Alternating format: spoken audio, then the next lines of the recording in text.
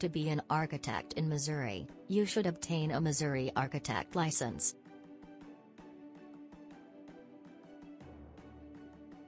To get the architect license, you should apply to the Missouri Board of Architects, obtain at a bachelor's degree from a National Architectural Accrediting Board accredited university, complete an intern development program, and pass the architect registration exam.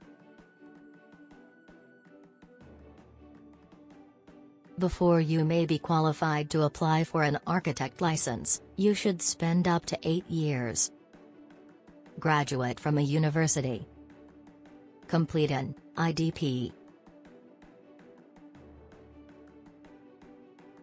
Now you are ready to apply for your license.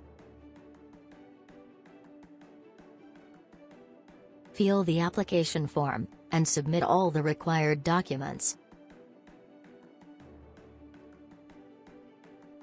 You should renew your Missouri architect license every two years.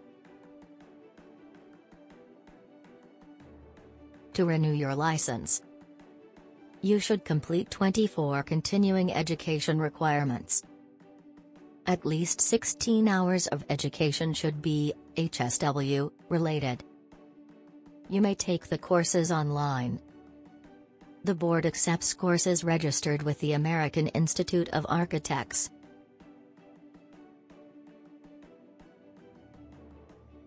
You cannot work legally in the state of Missouri without an architect license.